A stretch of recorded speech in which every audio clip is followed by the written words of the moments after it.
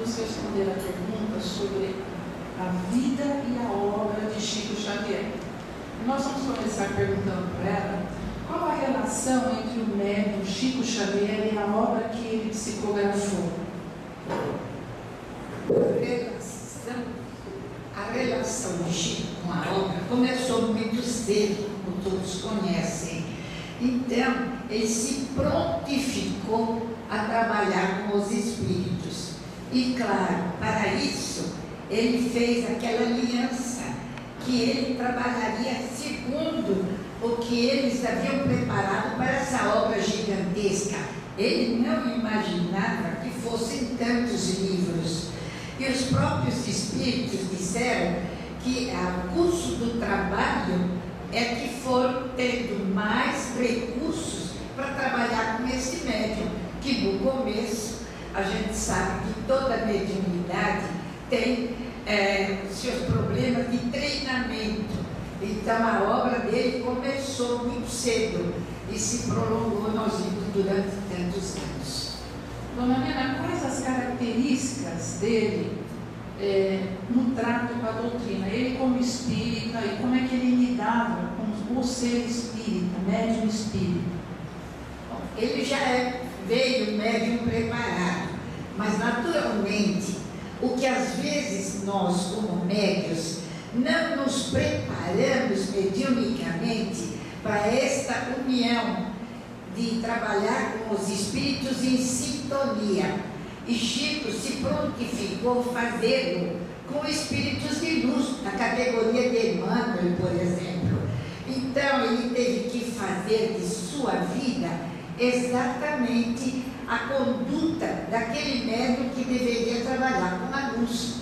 É isso que a gente muitas vezes imagina que o mundo espiritual ele se presta para vir dar comunicação e depois o médium é, é uma pessoa comum em todas as tarefas. Pode ser sim, mas não quando trabalha com os espíritos da evolução de Emmanuel, de Calmachutes, com aquela evolução desses espíritos, Bezerra de Menezes, então o Chico teve a conduta exatamente para poder trabalhar com esses espíritos. Mas, dona Helena, ainda nessa questão da, da, da, característica do médium, como ele foi como médium, mas junto à sociedade, à, à, àquela humanidade tão carente que ele tinha contato? Bom, ele já era um espírito preparado. Agora, naturalmente, ele teve que renunciar a muitos prazeres de sua vida, porque ele não poderia naturalmente ter uma vida é, normal como qualquer outras pessoas. E nós vemos durante o seu trabalho tão grande. É por isso que Emmanuel só o liberou Emmanuel era o seu mentor e que disciplinava para este trabalho. Porque quando ele disse disciplina, disciplina e disciplina, o disciplinou para este trabalho.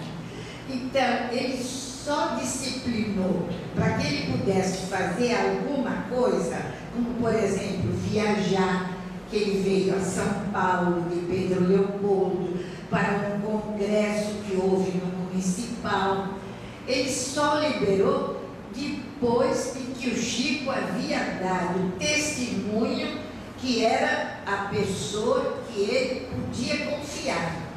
E mesmo assim teve um episódio muito interessante, porque ele se hospedou na casa de uma, do, do anfitrião, é quem estava promovendo no Teatro Municipal é, é, esse evento. E durante a noite ele recebeu vários amigos para conhecerem o Chico. Então fazia muito calor e o anfitrião serviu uma, serviu uma cervejinha fresquinha, mais gelada, e o Chico tomou um copo. Talvez nem um copo, mas ele conta que teve uma cólica, contava que à noite se rolava na, no apartamento onde eles tinham reservado para que ele dormisse. E ele pedia, Emmanuel, amanhã eu tenho um compromisso tão grande, por favor, me dê alguma coisa para que eu melhore. Ele falou, não vou dar nada. Você vai passar a noite sentindo esta dor porque você não veio para fazer o que você fez. Ele disse, mas fazia muito calor, bebesse água, porque você veio para a doutrina espírita, para dar testemunho. Então, o comportamento dele com a doutrina teve que ser isso. Os outros podiam beber, ele não. Se ele estava representando num casamento, numa festa, ele brindava, mas não bebia. Ele não se importava de levantar taça. Os outros podiam dizer, mas eu vi o Chico com a taça na mão. Viu, mas ele não bebia. Então o comportamento era esse, fidelidade pura. Dona Nina, eh, nós temos uma profusão de médicos trabalhando muito seriamente, é, escrevendo livros, psicografando, trazendo mensagens e tudo. E existe, é, e é comum entre nós, particularmente entre os brasileiros, uma mania que a gente tem de se comparar e comparar coisas, coisas e pessoas. Em relação ao Chico, e, e existem pessoas até que gostariam de, de produzir tantos livros quanto ele produziu. Mas isso é correto? Está certo a gente fazer esse tipo de comparação? Como é que fica a obra do Chico em relação às outras? Bom, quando a gente tem muita sede e você não está perto de uma fonte de água pura, você vai beber para saciar sua sede por aquela água que passou por estradas, riachos, que se contaminou com terra, com ervas. Então, isso é exatamente aqueles livros que às vezes nem tem aquela fidelidade à obra. Tem recurso está perto da fonte, para que beber água do riacho? Beba água da fonte limpa. Leia os livros de Chico e se cair em suas mãos algum desses outros livros que não são tão, é, eu diria, fiéis da doutrina, você vai saber comparar. Agora, aí é uma questão que às vezes isso cai nas mãos de pessoas tão sedentas que até servem muitas vezes para aprender o bom caminho. Dona Nena, é, nós sabemos, porque a senhora relata entre os seus companheiros de trabalho, que é, muita coisa que se atribui ao Chico, e até ficou famosa, ou ficou famoso o termo, o termo Chico me disse, não é? Muita coisa foi tirada de um contexto, ou mesmo ele não falou, não falou isso. E a senhora também já revelou, já revelou para nós que ele tinha muito cuidado com aquilo que falava e tudo, ele confiava em algumas pessoas muito profundamente. Mas muita gente solta coisas e a gente vê até uma certa. livros até publicados, coisas que a gente desconfia que não foi ele. O Chico tinha preocupação, uh, a senhora que viveu tão perto dele, com, com aquilo que ele produzia, ou com aquilo que ele falava, que poderia ser mal utilizado no futuro? Se ele falasse, tentasse falar, Emmanuel eu corrigiria porque Emmanuel era o disciplinador e ele obedecia ao seu mentor. Mas o Chico era um médium vigilante. E como médium vigilante, ele não falaria coisas que prejudicassem a doutrina. Agora, às vezes, emitir uma opinião, ele, como Chico Xavier, até podia fazê-lo, por que não? Ah, eu acho mas poderia ser ele, Chico Xavier. Agora, para você falar uma coisa que vai comprometer a doutrina, você tem que ver se está na obra escrita, porque ela foi policiada e revisada pelos mentores. Agora, dizer que o Chico falou em quatro paredes, ora, isso daí não está assinado pelos benfeitores. Pode ter dito, Pode não ter dito. Eu não vou assegurar que ele não tenha dito. Eu convivi muito com o Chico mas não estava com ele 24 horas por dia, anos após anos. Então muita gente diz assim, ah, mas o Chico me falou. Agora, a dona Nena diz, não, o Chico não falou isso. Você vai acreditar em quem? Leia no livro se Emmanuel assinou embaixo. Se Emmanuel assinou embaixo, o Chico falou. Agora, o que ele disse para Nena, para Maria, para o João, ninguém pode dizer que realmente é o Chico que ele disse. E tudo que eu disser, vocês também raciocinem se eu não estou falando demais, não é? Bom, aí eu vou fazer uma interferência.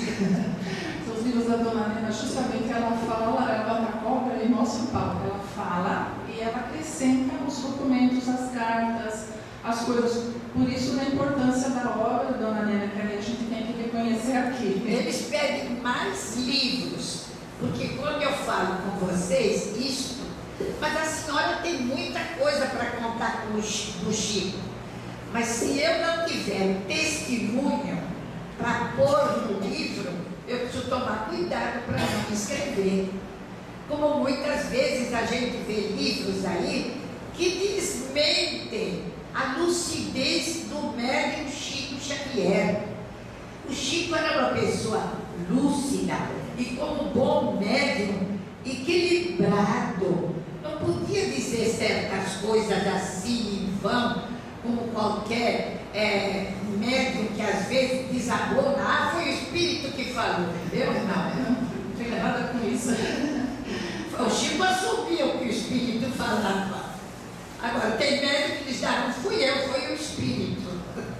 Dona então, a gente também sabe, e a senhora tem muito material e a gente gostaria, às vezes a gente brinca com ela, Dona Nena, será que vai ser preciso a senhora vir através de um médium para contar as histórias para a gente? Mas enfim, a gente espera, porque vale a pena. A senhora tem muito material, mas a senhora também já, já pode nos dizer o porquê que muita coisa que o Chico produziu, ele não divulgou. Por quê? Porque tudo tem sua época. Nós vemos que normalmente os livros mesmo, eles foram saindo de acordo com o que nós poderíamos interpretar. Teve a época do consolo, as cartas com as mães, teve a época com André Luiz para explicação, para que a ciência também pudesse parar e pensar que a doutrina espírita é ciência, filosofia e religião. Então, os livros foram saindo de acordo com a necessidade nossa.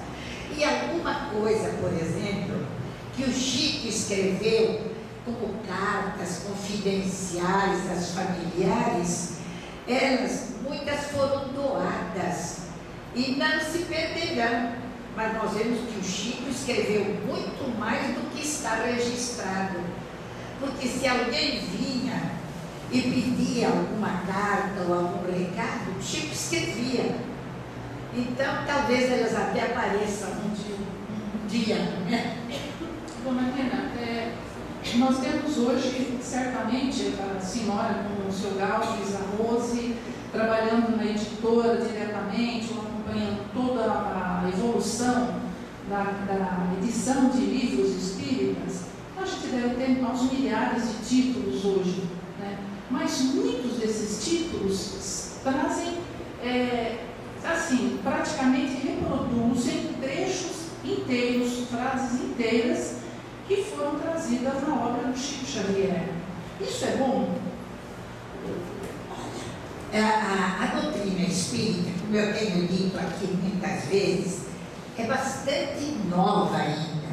Então, nós não temos ainda leis que podem exatamente corrigir este processo de plágio, de cuidados, porque isto moveria processos.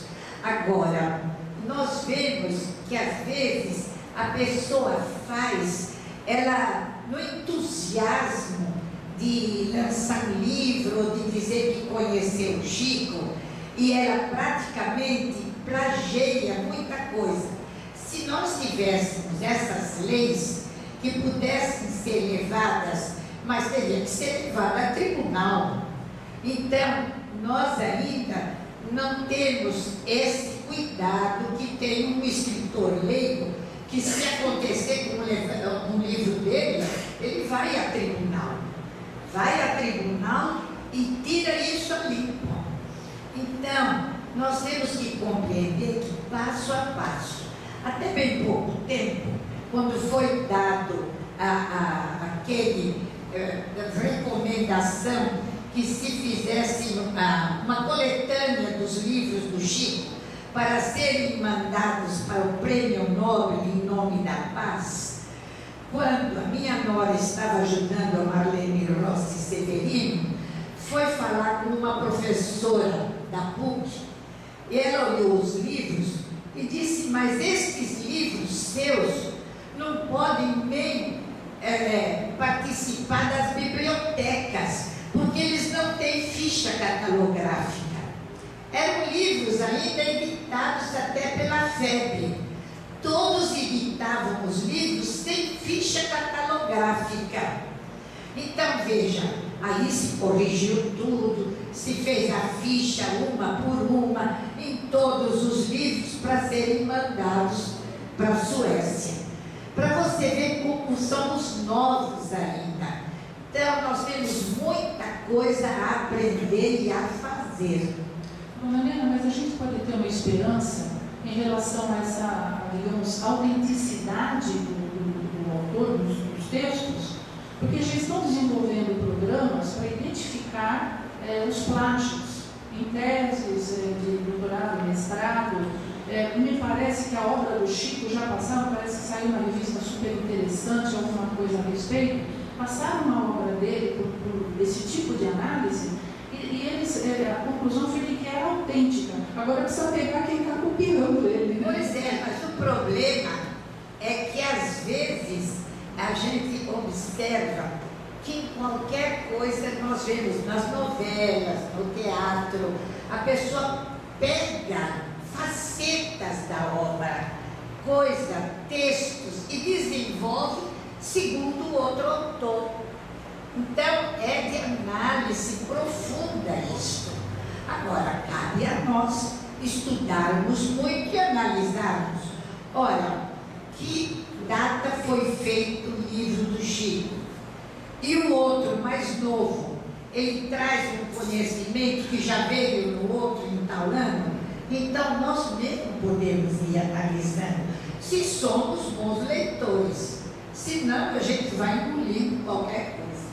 Dona Nena, quando a gente lê, eh, principalmente a obra do André Luiz, é, revela muita, muita coisa sobre o plano espiritual, como funciona, o, o meio ambiente, a ecologia do plano espiritual. Mas a gente também fica meio frustrado porque faltam algumas, pelo menos na, na, no conhecimento que temos no momento, até o momento, a gente sente falta de algumas coisas de aprofundar. Então, na sua opinião, a senhora acha que os médiums é, deveriam é, focar esse tipo de, de, de trabalho para nos trazer mais esclarecimento? Que médium, Gisela? Eu pergunto, será que aquele médico que com um pouquinho de cerveja tem uma cólica, ele vai trazer uma novidade? Ele vai ter o regime que o Chico teve, com todos os prazeres que ele poderia ter tido e não os teve, com todo o dinheiro que ele poderia ter tido e não teve. A gente precisa acreditar numa novidade vendo a vida do médium. E hoje a gente não vê muito médium que renuncia à família, ao dinheiro, a, até a, a honra, o poder, a tudo. Então, que médium? Eu prefiro ficar com o que já sei por André Luiz através de Chico, né? É Porque médium como Chico, eu não conheço. Você conhece? Vocês conhecem algum? Então essas novidades têm que ser passadas na peneira. Há pouco tempo, uma pessoa da casa disse: Ah, mas o médico lá fora, a vida dele é uma coisa, aqui dentro é outra. Disse: Não, não importa o que ele faça lá fora, né? É, não importa o que ele faz lá fora, ah, importa. Ah, importa. Porque ele, em mediunidade e sintonia, ele vai ter sintonia o que ele faz lá fora também. Não é só na sessão, não. É lá fora também que ele vai ter sintonia. E eu não vou aceitar, por exemplo, isso, prefiro aceitar as obras do nosso Chico. Quando apareceu um médium assim, olha, diz que Emmanuel já estava encarnado. Quem sabe nós vamos ter Emmanuel com a disciplina que ele impôs ao Chico, né? Ele poderá aparecer também bem educado, culto, inteligente, bom médium, vivendo na nossa sociedade, vivendo no mundo sem ser um homem do mundo. Quem sabe aparece ainda? Não sei. Dona Nena, então, é, hoje, no, ainda nessa sequência desse raciocínio, com tanta obra, é, chegando e a gente insistindo para as pessoas se apegarem à, à fonte viva, né, à água pura que a senhora tem, tem falado, citado. No que, que nós podemos nos beneficiar é, lendo e estudando a obra, a obra que o Chico trouxe, que numa, numa existência a gente não vai conseguir, nós sabemos. E também conhecendo a vida. Senhora está comparando a, assim, a renúncia. Nós também precisamos renunciar para sermos melhores a, a tudo isso. É, cada um renuncia ao que pode. Agora, também vai receber o que o mundo espiritual poder dar. Isso é assim, ele não obriga. Ninguém obrigou o Chico a ter essa vida. Ele também renunciou. Agora, você falou da obra que sai. O Chico nunca deixou de estudar a obra de Kardec. O Chico estudava o livro dos Espíritos. O Chico ia na fonte viva da codificação. Agora, os médios normalmente que a gente vê muito por aí, se você comparar alguma novidade que tem com a codificação, você vê o erro. Então, qual é o problema? O Chico estudava o livro dos Espíritos todos os dias. O Chico nunca deixou de estudar codificação. Hoje, quando às vezes você pega uma obra que nem é psicografada, mas ela não condiz com a codificação. Então já não está na fonte pura. Já, é a, já passou pelas ruelas e pelos riachos, né? É esse cuidado que a gente tem que ter. Claro que tem coisas boas, tem também. Também saem coisas boas. Mas a gente não vai ficar estudando só o Chico. Não se diz isto nem ele fazia isto. O Chico adorava um bom escritor leigo. Fazia questão de conhecê-lo, de parabenizá-lo, conversava com eles. Então, o Chico gostava da boa literatura leiga também. Tem as obras, por exemplo, do Herculano Pires, que não são mediúnicas e são de excelência. De excelência. A gente não vai dizer que só vai ficar preferível uma boa obra que não seja mediúnica do que uma é recebida por um médium e que ela não condiz com a codificação. E o Chico fazia isso. Dona Helena, o Chico desencarnou em 2002, né, então nós temos já 16 anos, fazendo agora nos próximos meses, de seu desencarne é, ele está fora. E a gente sente que, fora, digo, fora pessoa, encarnado, ele está fora, digamos, do circuito. E a gente vê que existe muito interesse em novidades, novidades, novidades.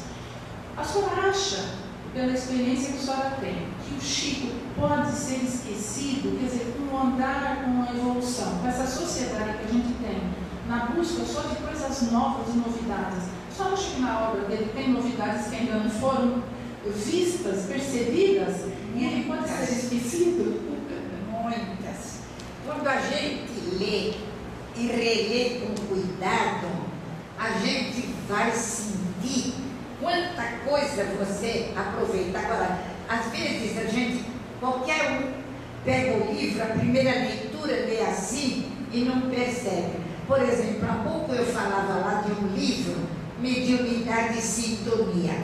Vocês viram aquela palestra da, da Júlia Nezu? Ela foi baseada nesse livro.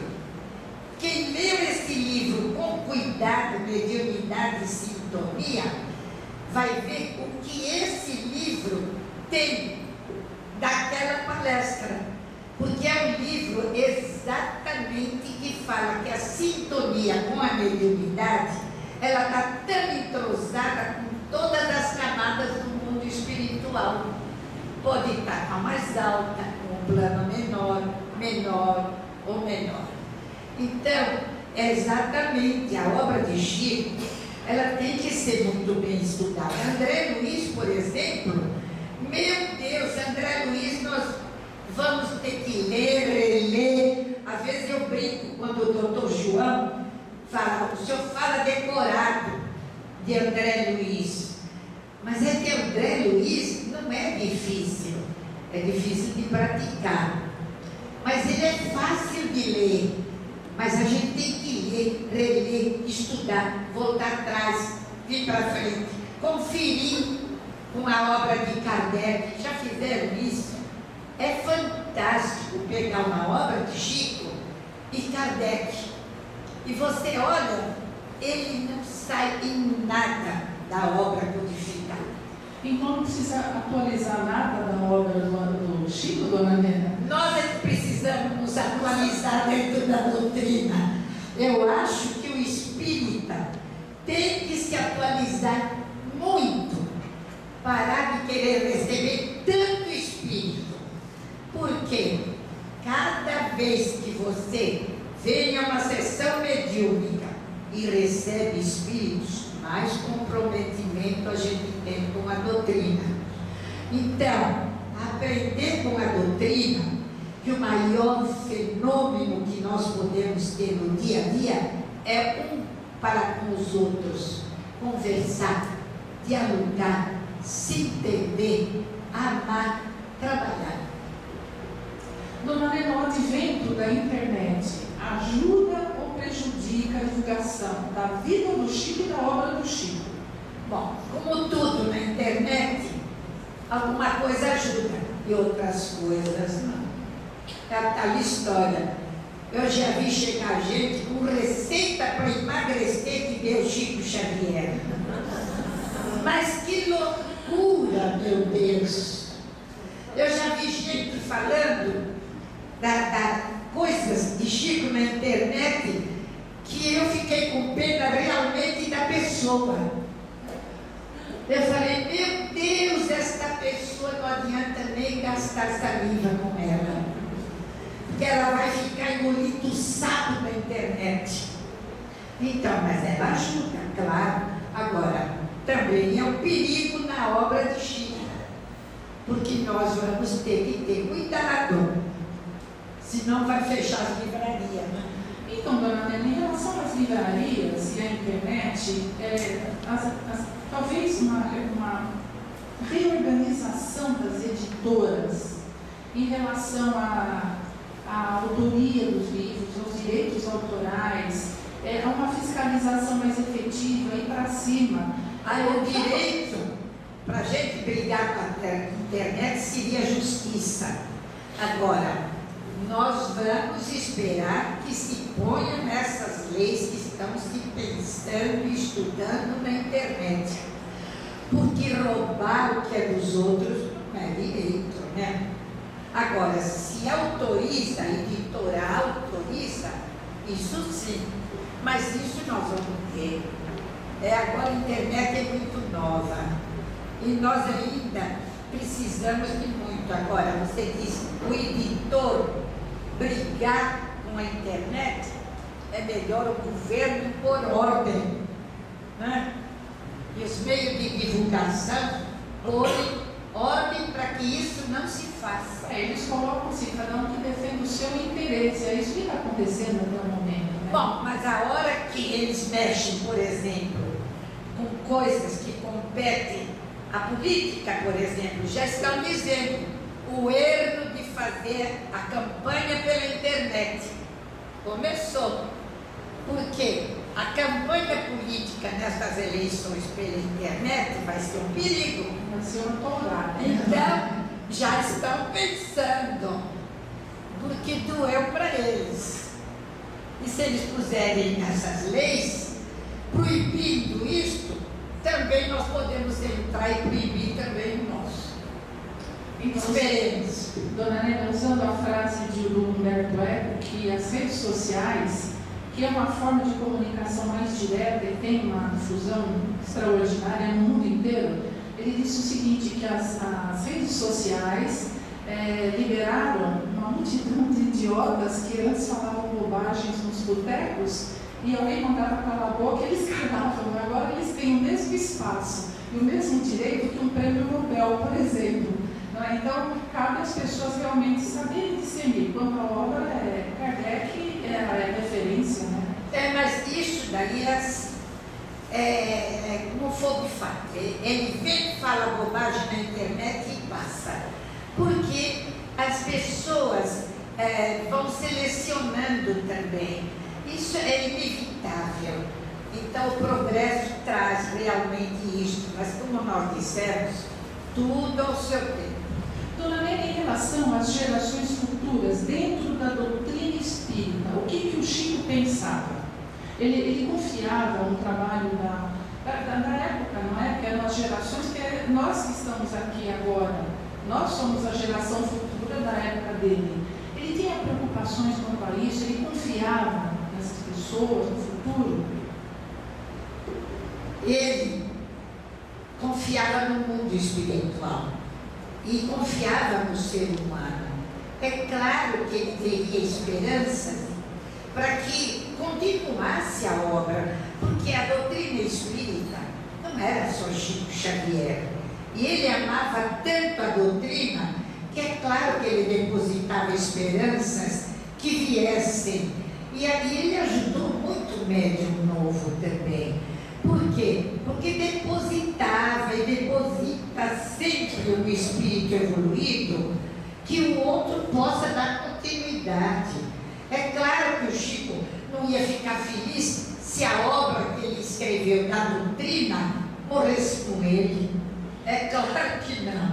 Ele quer que surjam outros médiums, que venham realmente trazendo mais luz. Agora, que nós temos material para discutir muito ainda, sem dúvida, para vir coisa nova, nós precisamos conhecer esta. Isso que é o problema, porque o espírita adora romance. Então, nós vemos lá na livraria, a vida de romance é uma coisa, basta que diga na ficha catalográfica que é espírita, a pessoa vai e compra. Agora, você vai começar a ler, ele só fala em reencarnação. Em espiritismo mesmo não tem nada. Reencarnação não é privilégio de espírita. Muitas, mas muitas religiões, elas estudam que conhecem e praticam a reencarnação. Ora, nesta altura, esse romance está usando nessa ficha psicografia. Mas tudo isso é uma análise que normalmente a pessoa vai fazendo. Ela compra um, vê que não é bom, não compra dois, não é? Vai convidar, compra duas obras fé. Dona Nena, nós todos sabemos que a senhora esteve muito, muito próxima, muito tempo ao Chico Xavier, né?